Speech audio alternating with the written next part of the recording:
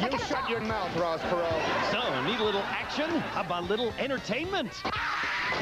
Maybe a little gymnast. That's so sweet. I know it is, isn't it? Or a little... What? This is so great. Now, um, Oh, need a little goat boy, maybe. This week's host is Lisa Kudrow with musical guest Sheryl Crow. It's Saturday Night Live's new season, guaranteed milky fresh.